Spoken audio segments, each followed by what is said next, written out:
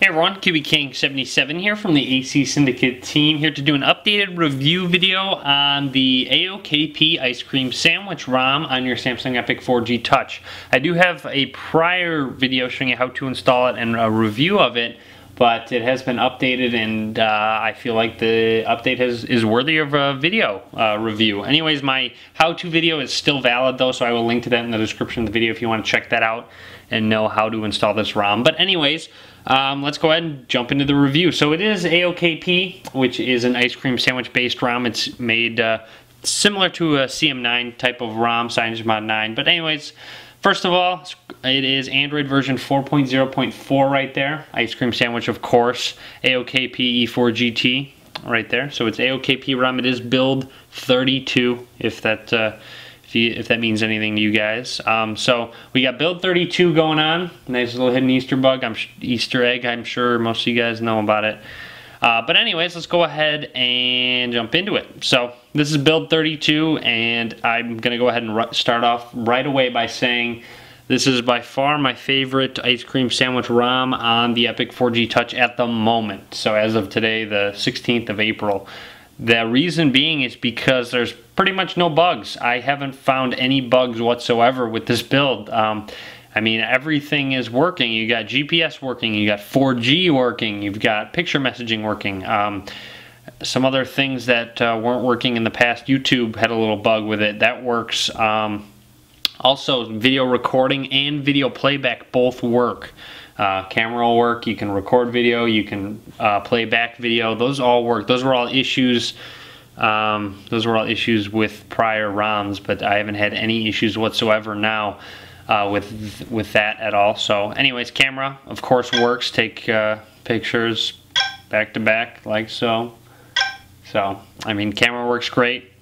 Uh, other things, uh, video recording works great, obviously as I said, you can just pop over here and go to panoramic video camera or uh, camera. So video recording works just fine, of course, which I know uh, a lot of people were talking about. 4G works. Um, let's go to menu, go to settings. I am on Wi-Fi at the moment, but uh, whoops, wrong thing. Let's go to more, and you'll see 4G settings right there. Um, you also have your tethering and portable hotspot, so you can you got your hotspot there going on. It's overall a really fast, really snappy ROM. It's it's really great. It works works quite well actually. I've had no issues whatsoever. So let's go ahead and get into it. You do have two launcher options. You have Nova Launcher, as you can see right down here, as long as well as the stock ice cream sandwich launcher. That's the one I'm using at the moment. Nova Launcher just gives you some added tweaks, so definitely check that out as well. But anyways, uh, otherwise it's it's it's really fast. Um, let's go ahead and go to ROM control. You got many different options within the AOKP ROM control. Uh, general UI, you've got, uh, you can disable the boot animation. You'll see that it's a, a pink unicorn boot animation, so I know some people are going to want to shut that off. So you can just check that and it'll disable boot animation. They say jerk underneath it. um, you can now allow 180 degree rotation, so when you uh, rotate it upside down, it rotates. You can have horizontal recent, uh, recent window, so when you press and hold on the home button, um, it's actually horizontal, your recent apps, instead of uh, vertical up and down. So, I mean, it's up to you that's actually pretty cool. So, I mean, you can have it one way or another. So as you can see, um, I'll try it again. I'll press and hold the home button and then they're up and down now. So very nice there um, with that. LCD density you can change. You have the CRT screen off animation. You can change that if you would like to. Uh, stock ice cream sandwich lock screen, which can be changed as well, which is nice. Um, you have volume options, uh, rotation delay, navigation bar, which is the buttons down, such as the Galaxy Nexus. So um, other than that, you got lock screen options. So let's go ahead and check out these lock screen options. Lock screen wallpaper, lock screen text color, lock screen style. So you have a few different ones. Let's try out the honeycomb lock screen. So we got the honeycomb going on, which is just like on the tablet, Galaxy Tab or any other honeycomb style lock screen. So just pull that circle outside and you're done there. You've got AOSP being the stock gingerbread one where you got vibrate on and off and then you got unlock as well and then you have octo quad and stock stocks of course the stock one quad and octo are both uh, shortcuts to certain applications so you'll see you got two open slots here for apps which you can customize so scroll down and you'll see you've got uh, custom app 1234 let's go ahead and add one let's go SMS So if we add SMS to one of them, you'll see that got added. It'll it replaced your your camera, so you got to be careful which uh, which one you add it to. So let's say I put it there. There you go. So now I got all three. You can change the order, of course. Just go to a certain number and the certain application that you want. So kind of nice there that uh, you have that option there. Um, power menu options, which is when you press and hold the power button, you've got these different options. You can have it be torch toggle, navigation toggle, and screenshot. You can turn those on. You have weather options, power saver, status bar options, general ones, um, toggles and such, uh, notification icon transparency, which is the icon such as the vibration icon up at the top.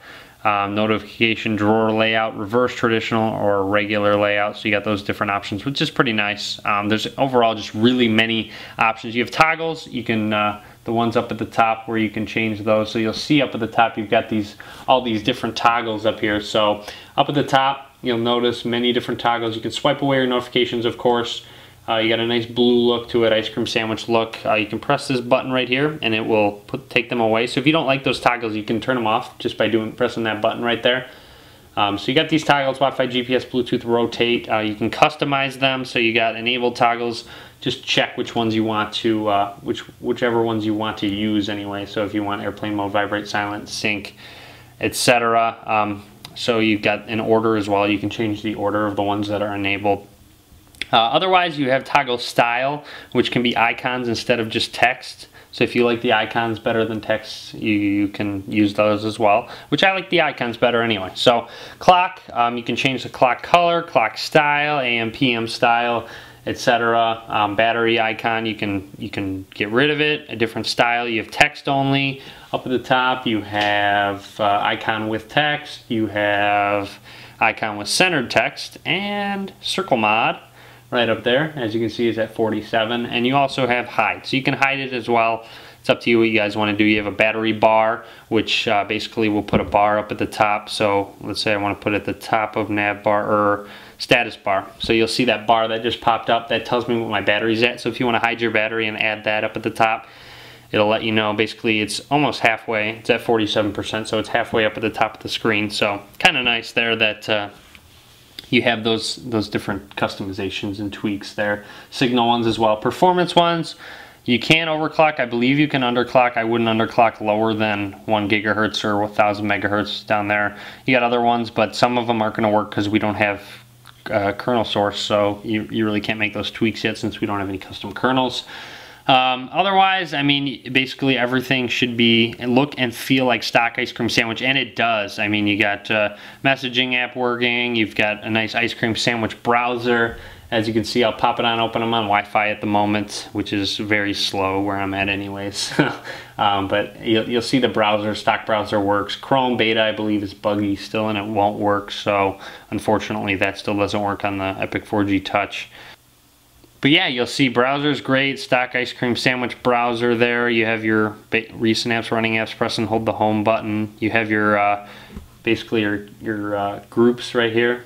You can make folders, just drop an app on one another and you can uh, get your folders going on, which is nice. Of course, you can organize them down here, press and hold different ones. Uh, if you lock your screen, you can pull down your notification bar while it's locked. So if you have a notification you want to jump quickly to, you can, or turn a toggle off or whatnot, you can just pull it on down and turn it on off, which is very nice, of course. So. Other than that, though, you got all your stock uh, ice cream sandwich apps, stock messaging application, as you can see right here. Uh, this should pop up just because of Sprint voicemail. Um, that shouldn't be a recurring thing anyways. Um, otherwise, you got stock Google, uh, stock ice cream sandwich Google Talk, calendar as well. Got the ice cream sandwich calendar application uh, ice cream sandwich calculator as well. If for those of you that use a lot uh, your calculator a lot, you got that option. Uh, widgets, you just swipe on over, go to your widgets. You got a 4G widget there. They're resizable. Some of them are resizable, such as the bookmarks one. They're scrollable as well. Some of them. Just drop it on down, um, and you should be able to scroll on through. As you can see, pick it up, drop it back down. You got dots around it. You can resize it. I believe you press and hold volume down and power button to take a screenshot. Press and hold it and it takes a screenshot. So in case those of you that didn't know that you can do that which is also a nice feature that everyone does like. So and it also just kind of lets you know that it's been captured there. You can swipe it away Um, but yeah, that's really about it. I mean, as you guys can tell me going through this ROM, it's very fast. I definitely want to get, get you an updated video so you guys can see. It's definitely going to be my daily driver for a good amount of time anyways until a better ROM comes out, but I'll be sure to be doing more videos, of course. And be sure to enter in the FlyGrip contest. Today is the last day to enter.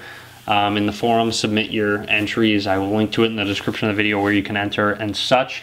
But anyways, that's it. So let me know what you think of this ROM. Leave a comment on the video. Be sure to subscribe to me. Follow me on Facebook, Twitter, and Google+. All links will be in the description of the video below. And as always, thanks for watching. Be sure to give this video a thumbs up.